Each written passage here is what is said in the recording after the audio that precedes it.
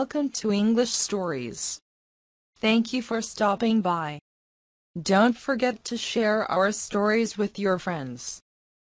The Nightingale by Hans Christian Andersen. The story I'm going to tell you happened a great many years ago in China, so it is well to hear it now before it is forgotten. The Emperor's palace was the most beautiful in the world. It was built entirely of porcelain and very costly, but so delicate and brittle that whoever touched it was obliged to be careful. In the garden could be seen the most singular flowers, with pretty silver bells tied to them, which tinkled so that everyone who passed could not help noticing the flowers. Indeed, Everything in the Emperor's garden was remarkable, and it extended so far that the gardener himself did not know where it ended. Those who travelled beyond its limits knew that there was a noble feast with lofty trees sloping down to the deep blue sea, and the great ship sailed under the shadows of its branches. In one of these trees lived a nightingale, who sang so beautifully that even the poor fishermen, who had so many other things to do, would stop and listen. Sometimes, when they went at night to spread their nets, they would hear her sing and say, Oh, is it not beautiful? But when they returned to their fishing, they forgot the bird until the next night. Then they would hear it again and exclaim, Oh, how beautiful is the nightingale's song! Travellers from every country in the world came to the city of the emperor, which they admired very much, as well as the palace and the gardens. But when they heard of the nightingale, they all declared it to be the best of all. And the travellers on their return home related what they had seen and learned men wrote books containing descriptions of the town, the palace, and the gardens. But they did not forget the nightingale, which was really the greatest wonder. And those who could write poetry composed beautiful verses about the nightingale who lived in a forest near the deep sea.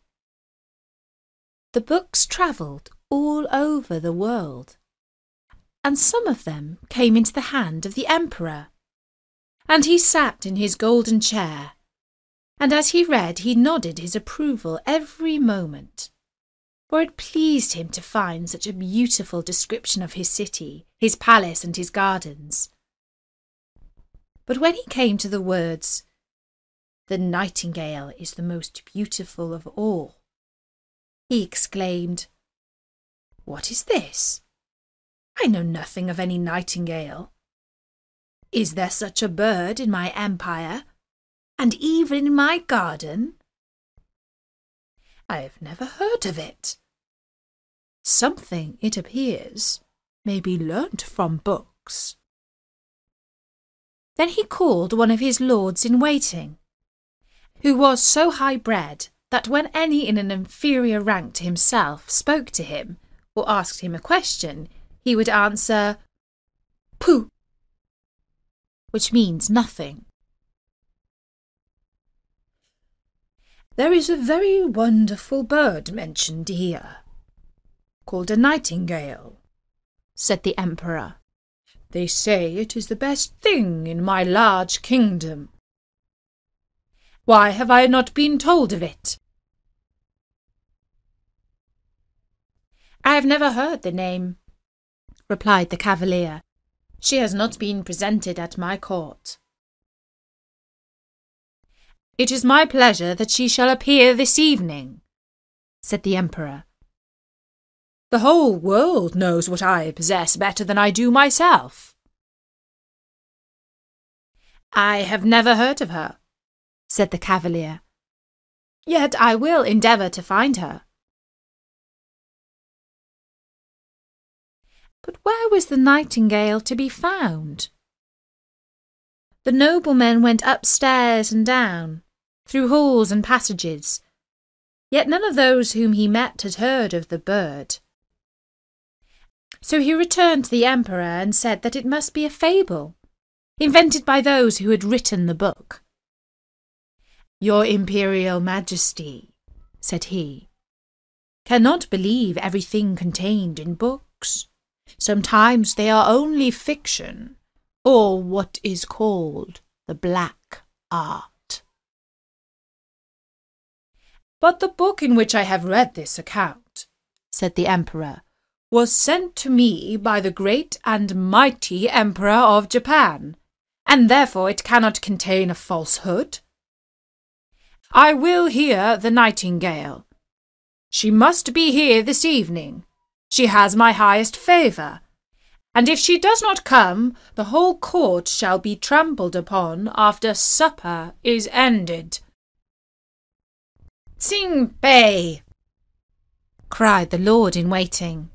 And again he ran up and down the stairs, through all the halls and corridors, and half the court ran with him, for they did not like the idea of being trampled upon. There was a great inquiry about this wonderful nightingale, whom all the world knew, but who was unknown to the court. At last they met with a poor little girl in the kitchen who said, Oh, yes. I know the nightingale quite well. Indeed, she can sing. Every evening I have permission to take home to my poor sick mother the scraps from the table.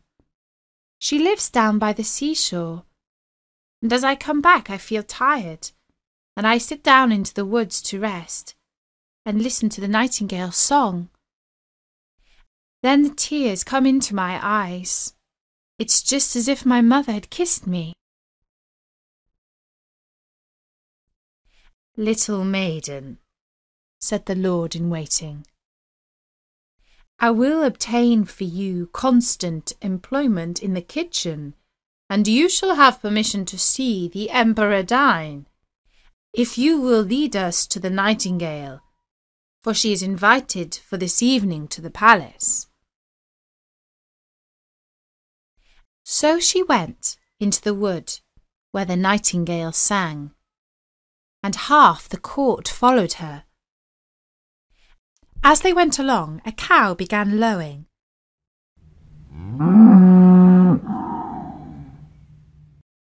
Oh, said a young courtier, now we have found her.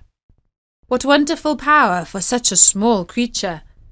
I have certainly heard it before. No, that is only a cow lowing, said the little girl. Then some frogs began to croak in the marsh.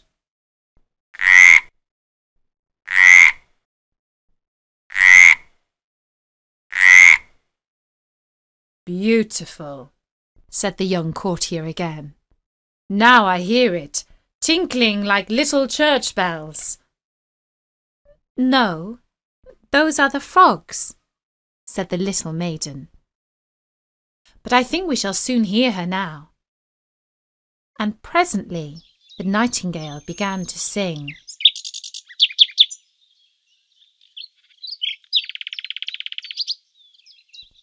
Hark! Hark! There she is, said the little girl. And there she sits she added, pointing to a little grey bird who was perched on a bough. Is it possible?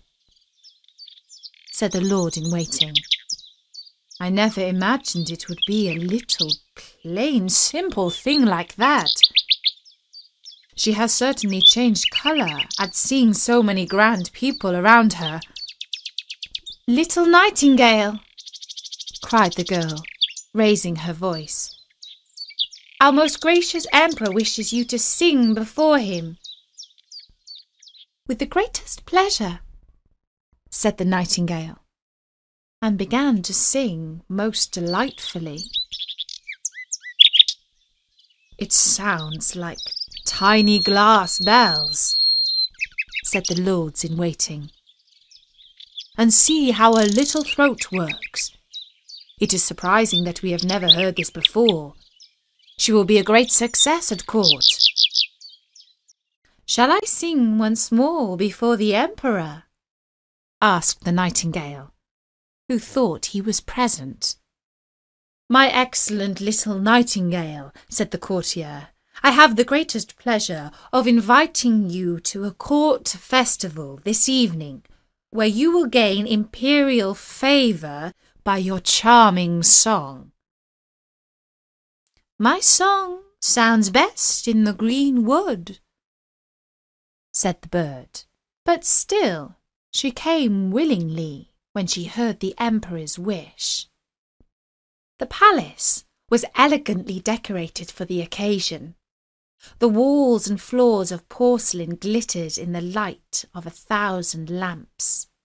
Beautiful flowers, round which little bells were tied, stood in the corridors. What with running to and fro and the draught, these bells tinkled so loudly that no one could speak to be heard. In the centre of the great hall, a golden perch had been fixed for the nightingale to sit on. The whole court was present, and the little kitchen maid had received permission to stand by the door. She was not installed as a real court cook. All were in full dress, and every eye was turned to the little grey bird when the Emperor nodded to her to begin. The nightingale sang so sweetly that the tears came into the Emperor's eyes and then rolled down his cheeks as her song became still more touching and went to everyone's heart. The Emperor was so delighted that he declared the nightingale should have his gold slipper to wear round her neck. But she declined the honour with thanks she had been sufficiently rewarded already. I have seen tears in an emperor's eyes, she said. That is my richest reward. An emperor's tears have wonderful power and are quite sufficient honour for me. And then she sang again more enchantingly than ever. That singing is a lovely gift, said the court. And then they took water in their mouths to make them utter the gurgling sounds of the nightingale when they spoke to anyone, so that they might fancy themselves as nightingales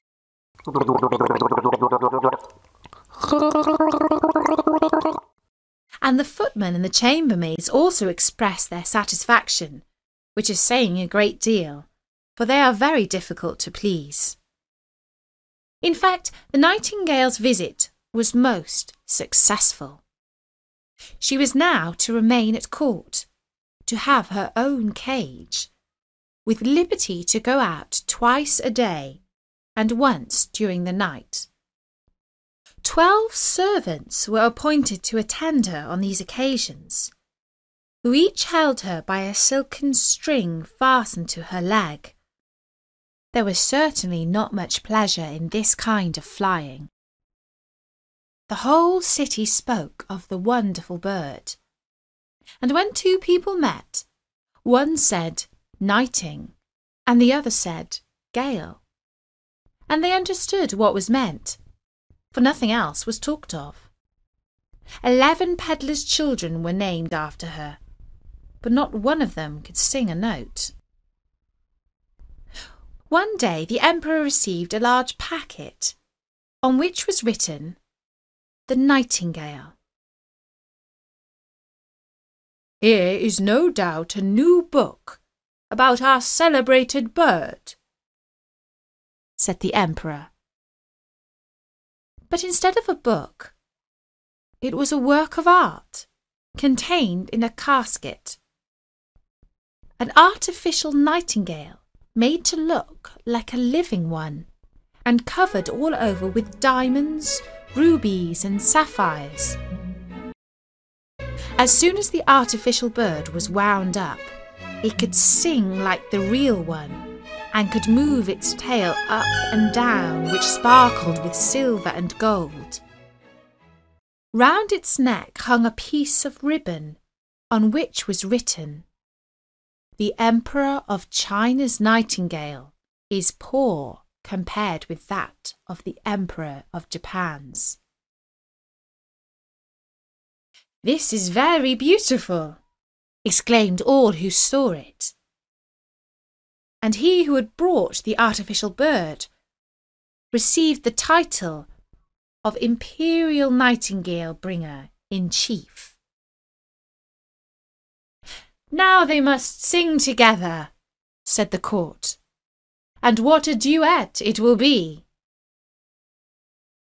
But they did not get on well, for the real nightingale sang in its own natural way, but the artificial bird sang only in waltzes.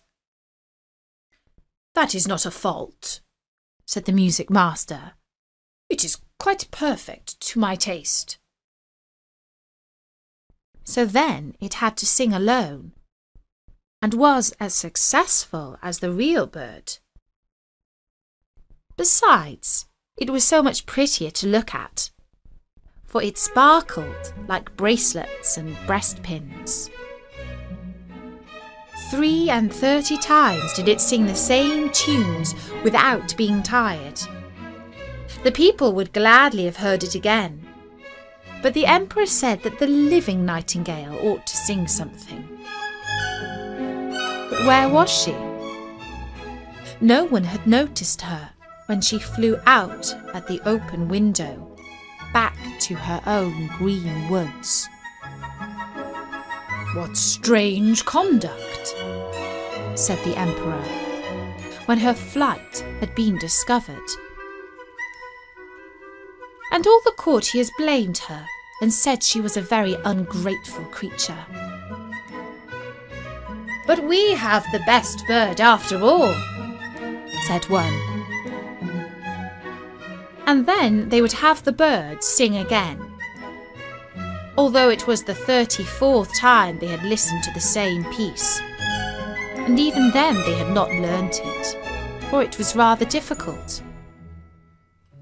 But the music master praised the bird in the highest degree, and even asserted that it was better than a real nightingale, not only in its dress and the beautiful diamonds, but also in its musical power. For you must perceive, my chief lord and emperor, that with a real nightingale we can never tell what is going to be sung. But with this bird everything is settled.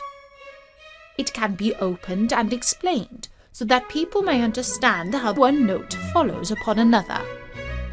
This is exactly what we think, they all replied.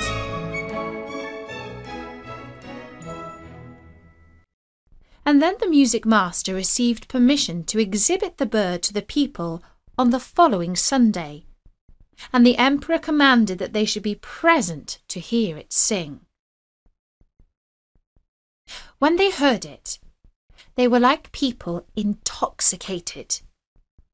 However, it must have been with drinking tea, which is quite a Chinese custom. They all said, Oh! And held up their forefinger and nodded. But a poor fisherman, who had heard the real nightingale, said, It sounds pretty enough, and the melodies are all alike. Yet there seems something wanting. I cannot exactly tell what. And after this, the real nightingale was banished from the empire, and the artificial bird placed on a silk cushion close to the emperor's bed. The presents of gold and precious stones which had been received with it were round the bird, and it was now advanced to the title of Little Imperial Toilet Singer, and to the rank of number one on the left hand, for the emperor considered the left side on which the heart lies, as the most noble, and the heart of an emperor is in the same place as that of the other people. The music master wrote a work in 25 volumes about the artificial bird, which was very learned and very long, and full of the most difficult Chinese words. Yet all the people said they had read it and understood it, for fear of being thought stupid and having their bodies trampled upon. So a year passed, and the emperor, the court, and all the other Chinese knew every little turn in the artificial bird's song. And for that same reason it pleased them better. They could sing with the bird, which they often did. The street boys sang zee zee zee, cluck cluck cluck. And the emperor himself could sing it also. It was really most amusing. One evening, when the artificial bird was singing its best, and the emperor lay in bed listening to it, something inside the bird sounded.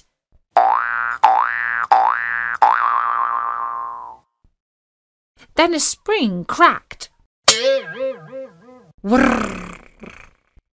Went all the wheels, running round and round. And then the music stopped. The Emperor immediately sprang out of bed and called for his physician. But what could he do? Then they sent for a watchmaker, and after a great deal of talking and examination, the bird was put into something like order. But he said that it must be very careful, as the barrels were worn and it would be impossible to put in new ones without injuring the music. Now there was great sorrow, as the bird could only be allowed to play once a year, and even that was dangerous for the works inside it. Then the music master made a little speech, full of hard words, and declared that the bird was as good as ever.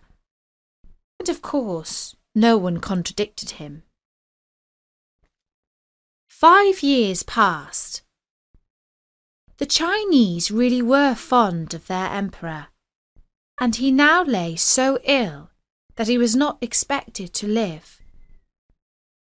Already a new emperor had been chosen, and the people who stood in the street asked the lord in waiting how old the emperor was. But he only said, Pooh! and shook his head. Cold and pale lay the emperor in his royal bed. The whole court thought he was dead, and everyone ran away to pay homage to his successor. The chamberlains went out to have a talk on the matter, and the ladies' maids invited company to take coffee. Cloth had been laid down on the halls and passages so that not a footstep should be heard, and all was silent and still. But the emperor was not dead yet, although he lay white and stiff on his gorgeous bed, with the long velvet curtains and heavy gold tassels. A window stood open, and the moon shone in upon the emperor and the artificial bird. The poor emperor, finding he could scarcely breathe, with a strange weight on his chest, opened his eyes and saw death sitting there. He had put on the emperor's golden crown and held in his one hand his sword of state, and in the other his beautiful banner. All around the bed and peeping through the long velvet curtains were a number of strange heads some very ugly, and others lovely and gentle looking. These were the Emperor's good and bad deeds, which stared him in the face, now death sat at his heart. Do, Do you, remember, remember this? this? Do you, Do you recollect, recollect that? that? They asked one after another, thus bringing to his remembrance circumstances that made the perspiration stand on his brow. I know nothing about it, said the Emperor. Music, music, he cried. The large Chinese drum, that I may not hear what they say.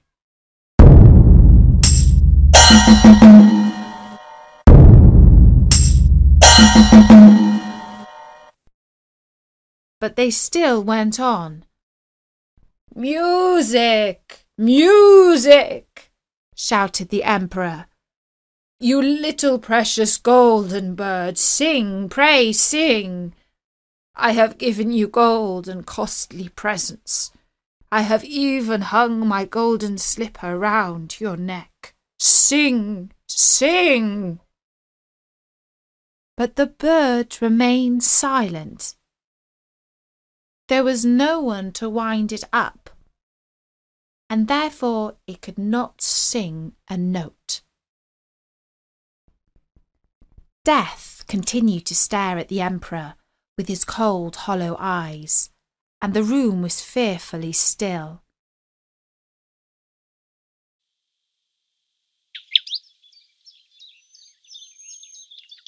Suddenly there came, through the open window, the sound of sweet music.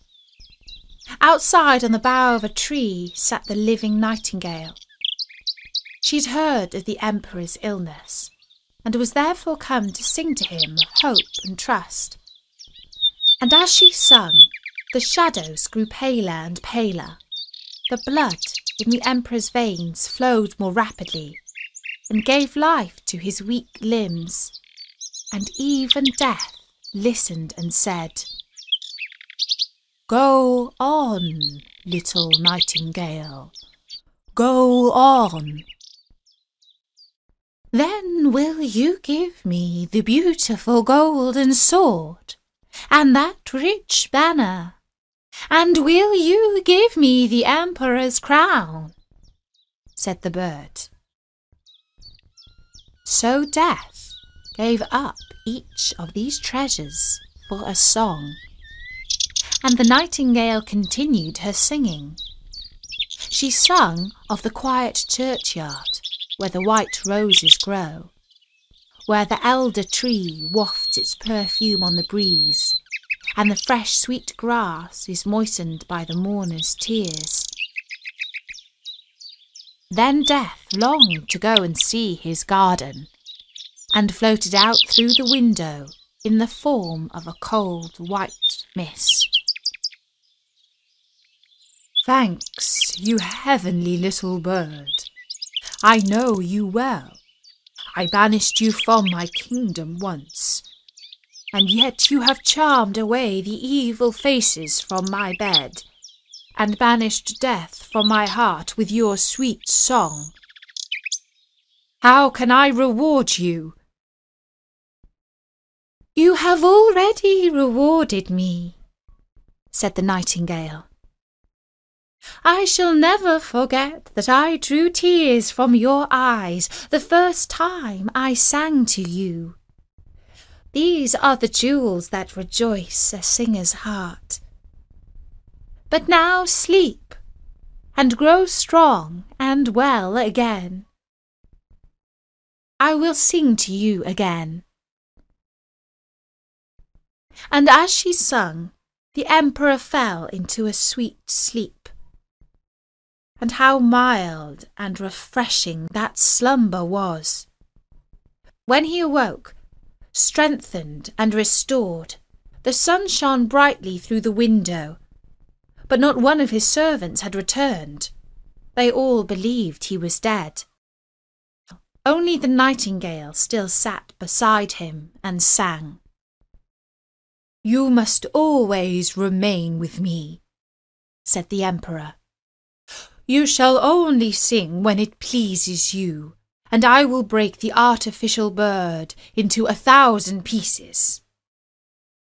No, do not do that, replied the nightingale. The bird did very well as long as it could.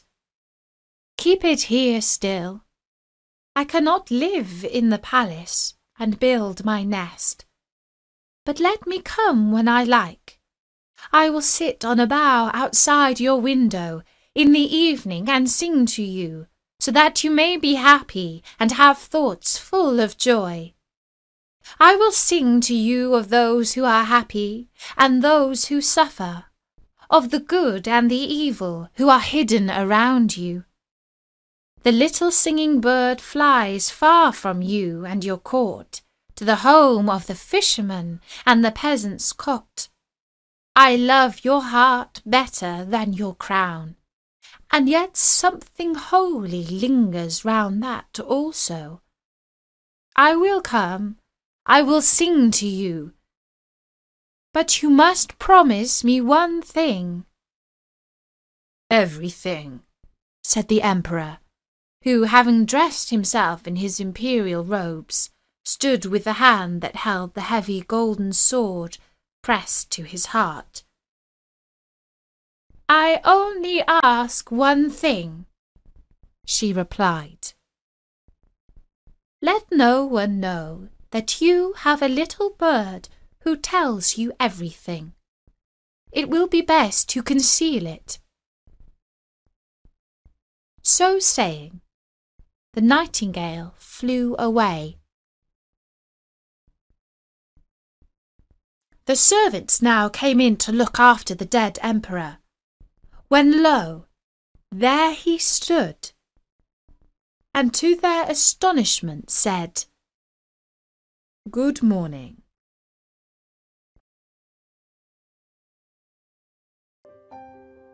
Continue your learning and listen to a English story.